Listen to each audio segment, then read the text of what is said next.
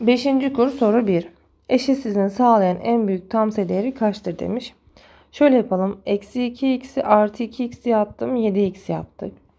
Artı 40 eksi 40 olarak geçerse eksi 35 yapar. Böl her tarafı 7'ye. Eksi 5 büyüktür x. Eksi 5'ten küçük. En büyük ne verebilirim bak? Eksi 6. X bir tam sayıymış. Eşitsizliğini birlikte sağlayan x değeri ne olamaz diye soruyor. Çözelim ikisini de şimdi. Her tarafa 4 eklesen 3x büyüktür 15. 3'e böldüm x büyüktür 5. Her tarafı 3 eklesem 2x küçüktür 20. 2'ye böldüm x küçüktür 10. 5'ten büyük 10'dan küçükse demek ki 12 olamaz. Yine eşitsizliğin çözüm kümesini istemiş. Dağıt eksi 2 içeriye. Eksi 2x eksi 2. 3'ü çarptım. 3x eksi 6 küçüktür 15. Eksi 2x ile 3x'i topladım 1x. Eksi 2 ile eksi 6'yı topladım. Eksi 8 küçüktür 15. Her tarafa 8 eklersem x 23'ten küçük gelir. Bursa. Soru 4. Akif'in kalemlerinin sayısının 3 katının 4 eksiği. O zaman x dersem kalemlerinin sayısına 3x eksi 4 17'den küçükmüş. E, 3x küçüktür. Her tarafa 4 eklersem 21. 3'e böldüm 7'den küçük. En fazla 6 verebilirim. Beşinci soruya bakalım. Bir okulda toplam 40, 480 öğrenci vardır. Okuldaki erkek öğrenci sayısı kız öğrenci sayısının iki katından büyüktür. Şimdi şöyle yapalım. Ee, kız öğrenci sayısına x dersem erkek öğrenci sayısı 2x'ten büyük gelecekmiş. Buna göre okuldaki kız öğrenci sayısının en büyük değerinin rakamları toplamı kaçtır? Şöyle yapalım.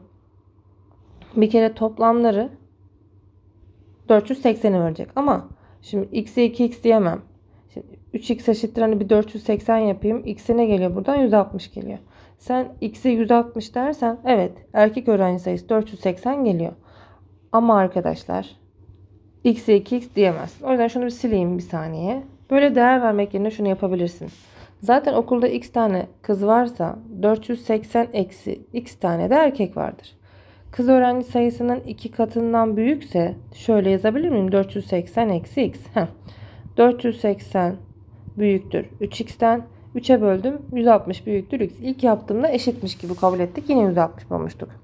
O zaman x dediğin şey 150 160'tan e, küçük olacak. En büyük değer 159'dur. Ee, rakamları toplamını istiyor. 1 artı 5 artı 9 15 gelir. Soru 6. Bir bisiklet mağazasındaki 40 bisikletin bazıları ikişer, diğerleri 3 tekerleklidir. Bu bisikletlik bu bisikletlere ait toplam tekerlek sayısı 100'den küçük olduğuna göre bak şöyle diyelim x tane ki x tane bisiklet ikişer tekerli ise 40 eksi x tane bisiklet üçer tekerlidir. O zaman atıyorum x tane ikişer tekerden 2x teker yapar. 40 eksi x tane üçer tekerli bisikletten 3'te çarptım tekerlek sayısını buldum. 100'den küçükmüş. 2x artı 120 eksi 3x küçüktür 100 yaptı. 120 eksi x küçüktür 100'den. 100'ü buraya eksi x'i buraya atarsam ne kalır bak 20 küçüktür x. İki tekerli bisiklet sayısı kaç farklı değer alabilir diye soruyor bana. Bir kere 20'den büyük olmak zorunda. 21, 22 nereye kadar gelecek? 39'a kadar gelecek. Çünkü bazıları da 3 tekerlekliydi. İlla ki bir tane 3 tekerlekli bırakalım. Kaç derim var bak burada sayarsan? 19 tane gelir. Soru 7. Bir otomobildeki kişilerin yaşları x artı 5, 3x eksi 7 ve x eksi 10'dur. Kişilerin yaşları birer pozitif tam sayı olup herhangi bir kişinin yaşı en çok 80'dir. X'in alabileceği değer hangisidir diye soruyor. En çok 80 ise demek ki x artı 50'nin de 80'den küçük olduğunu söylüyor. 3x eksi 7'nin de 80'den küçük olduğunu söylüyor. x eksi 10'un da 80'den küçük olduğunu söylüyor. O zaman çözelim. Attım 50'yi buraya. x küçüktür 30 gelecek. Attım bunu buraya. 3x küçüktür 87 ise her tarafı 3'e bölersem x 29'dan küçük olacak. En çok bu arada diyorsa eşit de olabilir bu arada. Veya bunu tarafa attım. x küçük eşittir 90. Baktığın zaman 3 eşitsiz de sağlayan x'in 29'dan küçük eşit gelmesi. Yani şu x olabilir. Aynı zamanda şurada bir kişinin yaşı tabii negatif olamayacağı için x eksi 10'un sıfırdan büyük olması lazım. Ve x ondan büyük gelmeli. Bu yüzden cevap Adana gelir. Soru 8. Eşit aralıklı ölçüm çizgileri olan dik dairesel silindir şeklindeki bir kapta aşağıdaki gösterildiği kadar su vardır. Bu kaptan bir miktar su alındığında kapta su seviyesi A ve B çizgiler arasındaki bir yere gelmiştir. Kabın hacmi 240 litre olduğuna göre kullanılan suyun hacmi kaç farklı yer alabilir? Bak şimdi. 240'ı 1, 2, 3, 4, 4'e bölersem bir bölme 60, 60, 60, 60 geldi. Değil mi? Şimdi başlangıçta ne kadar su vardı? 60, 60, 60, 180 kadar su var. Şimdi 180 kadar sudan x kadarını kullanmışsın. Düştüğün aralık ne geliyor arkadaşlar? A ile B arasına gelmiştir diyor. Yani B'ye gelseydi 60 olurdu. A'ya gelseydi 120 olurdu. Tamam. Her taraftan 180 çıkardım. Eksi 20 küçüktür. Eksi küçüktür. Eksi 60 geldi. Her tarafı eksiye bölersem 120 büyüktür. X büyüktür. 60 gelir. Peki kaç farklı tam sayı değeri var? 61'den 119'a kadar sayarsan 59 tane değer vardır. Aşağıdaki verilen rampanın yatay uzunluğunun yüksekliğinden 50 metre daha fazladır. X dersen x artı 50. Rampanın eğimi 1 bölü 6'dan küçükmüş. Eğim dediğim şey karşı dik kenar bölü komşu dik kenar. Küçüktür 1 bölü 6'ymış. Rampanın yüksekliği tam sayı olarak en çok kaçtır? Burada e, yapışlar işler çarpımını 6x küçüktür. x artı 50 gelir. Attım bunu buraya. 5x küçüktür 50 ise x küçüktür 10 mu gelmeli? Ondan küçük. En büyük ne verebilirim? 9. 10. Aşağıdaki tabelada bir otoyolda araçların gidebilecekleri en düşük ve en yüksek hızları gösterilmiştir. Bir araç hızını otoyolda izin verilen en düşük hızın en çok %10 aşağısına indirebilir. Yani 30'un %10'unu bulalım arkadaşlar. Ne geliyor bak 3. 3 indirirsen ne geliyor bak 27'yi indirebilirsin. 26'da ceza yiyeceksin. Sonra izin verilen en yüksek hızın ise en çok %10 yukarısına çıkabiliyor. Sen 120'nin %10'unu bul. 12. Artırırsam 132 km bölü saat. Bak 132'nin üstüne çıkarsan da ceza yiyorsun. Aksi halde araca trafik cezası yazılmaktadır. Bu otoyolu kilometre bölü saat cinsinden bir tam sayı olan sabit bir hıza tamamlayan bir araç sahibi hızımda 9 kilometre bölü saatlik bir değişiklik yapsaydım yine ceza yiyecektim diyor. Ama 10 kilometre bölü saatlik değişiklik beni ceza yemekten kurtaracaktır diyor. Şimdi bak. Bu aracın hızın alabileceği değerler toplamı kaçtır diye soruyor. En az sınır aracın hızı 17 olsa. 17'ye 9 eklersen 26 yapar ceza yersin. 17'ye 10 eklersen 27 yapar ceza yemezsin. Üst sınıra bakalım. Üst sınır da 142'dir. 142'den 9 çıkarırsan e, ceza yemezsin. 131 yapıyor çünkü. Değil mi? Pardon. E, 133 yapar ceza yersin. Ama 10 çıkarırsan 132 yapar ceza yemezsin. Toplamını istiyor senden 159. Soru 11. Ali'de 100 TL, Veli'de de 200 TL vardır. Ali parasının bir kısmını Veli'ye verdiğinde son durumda Veli'de Ali'nin parasının 3 katından fazla para oluyor diyor. Şimdi Ali'nin 100 TL'si, Veli'nin 200 TL'si yok muydu? Biraz hmm, Ali parasından Veli'ye verecekmiş. Atıyorum x lira versin. X çıktı. Burası da x eklendi. Diyor ki bana Veli'de oluşan para Ali'dekinin parasının 3 katından fazla oluyormuş. Hadi çözelim bunu şimdi. 200 artı x büyüktür. 300 eksi 3x'ten eksi 3x artı 3x olarak geçti. 200'ü buraya gönderdim. 100 geldi. 4'e bölersem x büyüktür. 25 gelir. x büyüktür 25 ise Ali'nin Veli'ye verdiği paranın TL cinsinden en küçük tam sayı değeri 26 oluyor. Rakamları toplamı kaçtır diye sormuş. 8 gelir. Devam edelim. Soru 12. Bir mağazada satılan iki motosikletin satış fiyatları 12.000 TL ve 20.000 TL, bisikletin fiyatı ise 3.000 TL'dir.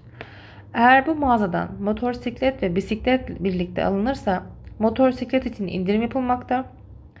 Mağaza üzeri, mağazada üzerinde %25'ten küçük yüzdelerin yazılı olduğu kartlardan biri çekilecek ve kartın üzerinde yazan indirim uygulanacaktır.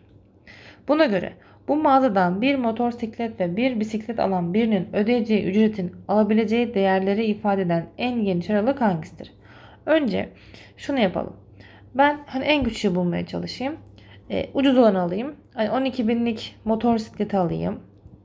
Sonra 3 binlik bisikleti alayım. Şimdi ikisini aldıktan sonra motor bisiklete indirim yapılacak ya. %25'ten küçük diyorsa hani en fazla olan %25 gibi düşün. Bunun %25 nedir? Dörtte biridir. İndirdim. E, 12'nin dörtte biri 3000 yapar. 9000 liraya geldi. Toplarsan 12 bin lira yapıyor. Bu en küçük. O yüzden eledim. Şimdi en büyük hesaplarsam da ben 20 binlik bisiklet alsam. Pardon motosiklet alsam 3 binlik de bisiklet alıyorum. Hani e, toplamanın en büyük olmasını istiyorum ya. %25'ten küçük diyorsa atıyorum %1'lik olan bir kartı bile çekebilirsin. Hani hiç indirim yapmadığını varsaysan toplamı zaten 23 bin yapıyor. Ama illaki indirim yapacağın için 23 binden küçük gelir. Soru 13. Şekil 1'de gösterilen ve yükseklikleri 27 e, santim olan kapta ilki tabandan 12 santim yükseklikte ve bir çizgi vardır. Diğer çizgilerde her komşu iki çizgi arasındaki uzaklık birbirine eşittir. Yani 27'den 12 çıkardım 15, 5, 5, 5 diyebilirim. Kap suyla tamamen dolu iken suyun bir kısmı kullanıldığında su seviyesi şekil 2'deki A ve B çizgiler arasında gelmiştir. Buna göre şekil 2'deki suyun seviyesinin yüksekliğinin santim değerinden alabileceği değerler toplamı kaçtır? Şimdi zaten şurası 12 değil mi? Burası 5 santim. Hani 5 santim 5 santim. Birincisi B dediğin şey ne olacak? Hani şurası B dediğin şey zaten 17. Değil mi? Şurası ne geliyor arkadaşlar? 17 e, artı 5 22 geliyor. Bu aralıktaki her şey olabilir. 18 olabilir, 19 olabilir, 20 olabilir, 21 olabilir. Çünkü arada. Peki toplarsan cevap ne geliyor? 78. Soru 14.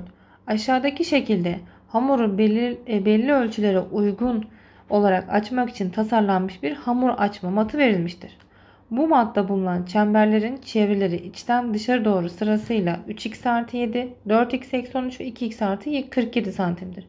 Buna göre ortadaki çemberin çevresi santimetre cinsinden ne olamaz diye soruyor. Bir kere içten dışa doğruysa en küçük 3x artı 7'dir. Sonra 4x eksi 13'tür. Sonra da 2x artı 47 gelir. Şimdi ikili ikili çözersen şimdi 3x'i buraya gönderdim. 1x eksi 13'ü buraya gönderdim. 20 gelir. Şu ikisini çözersem 2x'i buraya gönderdim. 2x eksi 13'ü gönderdim. 60 gelir x küçüktür 30. Demek x değeri arkadaşlar 20'den büyük 30'dan küçük gelecek. Hmm. Şimdi oradaki çemberin çevresinin santimetre cinsinden e, ne olamaz diye soruyor ya sana. Burada ortadaki çember hangisiydi? 4x eksi 13'tü. 4x eksi 13'ün e, ne olacağına bakalım. x'in aralığı belli çarp 4 ile 80 küçüktür. 4x küçüktür 120. Çıkar 13'ü. 67 ee, küçüktür. 4x eksi 13 küçüktür. 107 gelir. Hangisi olamaz o zaman? 60 yok. 60 yok bak bu aralıkta. Bu olamaz. Sonra 15. Bulem kendisine aşağıda görülen konu şeklindeki doğum günü şapkasını hazırlamış. Şapkanın üzerine aşağıdan e, yukarı doğru sırasıyla turuncu, pembe ve sarı şeritler yapıştırmıştır. Turuncu şeritin uzunluğu sarı şeritin uzunluğundan 5 katından 32 santim kısa ve her bir şeritin uzunluğu santimetre cinsinden bir tam sayı olduğuna göre sarı şerit en kısa değeri aldığında pembe şeritin uzunluğu aşağıdakilerin hangisi olamaz? Şimdi bak ben sarı şeritin uzunluğu x desem bu ne gelecekmiş? Bunun 5 katından 32 santim kısa. Peki fark ettiyseniz bu bir konidir ve en uzun tabii ki burası gelecektir. 5x 32 eksi 32 büyüktür x dersem bunu bu tarafa attım 4x eksi 32'yi karşı geçirdim 32 4'e bölersem x kesinlikle 8'den büyük gelecek. Şimdi diyor ki bana bir tam sayı olduğunu söylüyor. Sarı şerit en kısa olduğu değeri aldığında yani 9 olduğunda pembe ne olamaz diye soruyor. Şimdi 9 olursa 9 kere 5 45. 45'ten 32 çıkarırsan ne kalıyor? Burası da 13 geliyor. Bu pembe 9 13 arası olmalı. O zaman 13 gelemez. Arada olacak çünkü. Soru 16. Ayhan'ın elinde 9 tane özdeş metal blok vardır. Ayhan bu metal blokların her birinin kütlesini hesaplayabilmek için eşit kolu terazide iki farklı ölçüm yapıyor. Terazinin bir kefesine 40 kilogramlık ağırlık, diğer kefesine 4 tane metal blok koyduğunda terazinin dengedeki şekil 1'deki gibi olur. Yani bu taraf daha ağır basıyormuş. Hatta bir bloğun ağırlığını x dersem senin buradaki 40 büyüktür 4x oluyor. 4'e bölersen 10 büyüktür x gelir. Sağ taraftaki gibi olursa bloklar daha ağır gelmiş bak. Yani 5x tane 1, 2, 3, 4, 5. 5x büyüktür. 40'tan 5'e bölersem x büyüktür. 8 geliyor. Arkadaşlar x 8'den büyük 10'dan küçük geldi. Bir tane metal bloğun kütlesi doğal olduğuna göre nedir cevap? Bak 8 10 arasında 9'dur. Soru 17. Bir navigasyon cihazının ekranındaki eşit aralıklara bölünmüş bu simgesi üzerine soldan sağa doğru oluşan kırmızı renkli çubuk yolun ne kadarlık kısmının gidildiğini gösterir. Örneğin bu şekilde simgesi gö görünen sürücü ekrana bakarak yolun yarısından daha az bir kısmının gittiğini anlayacaktır. Çünkü yarısı tam şurası. Daha az kısmı gittiğini görüyorsun. Farklı yerlere gidecek olan ve aynı çeşit navigasyon cihazını kullanan Bilge, Hasan ve Furkan eşit miktarda yol gittiklerinde ekranlarında aşağıdaki simgeleri görmüşlerdir. Bak eşit miktarda gidiyorlar. Ee, düşün bak eşit miktarda gittikleri halde Bilge bu kadarlık yol gidebiliyor. Hasan yarısından daha fazla gidiyor. Furkan ise hani Bilge'ninkinden biraz daha hani yaklaşmış oluyor. Daha yol, daha fazla yol gitmiş demeyeyim çünkü aynı mesafe alıyorlar. Burada Hasan daha fazla yaklaşmış oluyor. Hı. Bilginin gideceği yolun uzunluğunu, Hasan'ın yolun gideceği yolun uzunluğunu bana bahsetmiş ya. Bir kere aynı miktarda giderek kim daha fazla hani gideceği yere yaklaşmış? Hasan. Demek Hasan'ınki daha kısa. Peki sonra Furkan, sonra ise Bilge'dir. Cevap Ceyhan gelir. Soru 18. Bir işe başvuracak olan Ali'ye iş yeri sahibi alınacak personel sayısına ait kontenjanı net olarak belir belirlemediklerini, kontenjanın aşağıda verilen sayı doğrusunun renkli bölgesindeki tüm tam sayılara eşit olabileceğini söylemiştir. Yani kontenjan sayısı 10'dan büyük, 20'den küçük eşit. Ali ve 3 arkadaşı bu iş yerine alındığında kontenjanın sayı doğrusundaki görünümü hangisine eş olabilir? 4 kişi işe mi alınıyor? O zaman 4 çıkardım 6, 4 çıkardım 16 geldi. 6 ile 16 arası 16 dahil 6 dahil olmamalı. E buradaki tam sayılar ne gelir? 7'den 16'ya kadar. Hangisi gelir bak? Ceyhan. Soru 19. Üst seviye üst yüzeyleri kare şeklinde olan iki sehpa yan yana konuluyor. Bu sehpaların üstten görünümlerinin verildiği aşağıdaki şekilde sayılar sehpanın yüzeylerin alanlarını aralarındaki boşluğun genişliğidir. Alan 9 metrekaresi bir kenarı 3 bir kenarı 2 bulur olduğunu bilirim. Çünkü karenin alanı kare. Sarı sehpa diğerinden daha yüksektedir. Sehpalar şekildeki konumlarındayken sarı sehpa bir miktar sağa kaydırıldığında, kaydırıldığında üstten bakınca mavi sehpa görünmemektedir. Şekildeki sarı sehpa yüzeyinin alt kenarı mavi sehpa yüzeyinin alt kenarına paralel olduğuna göre sarı sehpanın santim düzünden tam sayı olacak şekilde kaç farklı tam sayı değeri kadar sağa kaydırmış olabilir? Şimdi bir kere burası 3 metre ise burası 300 santim.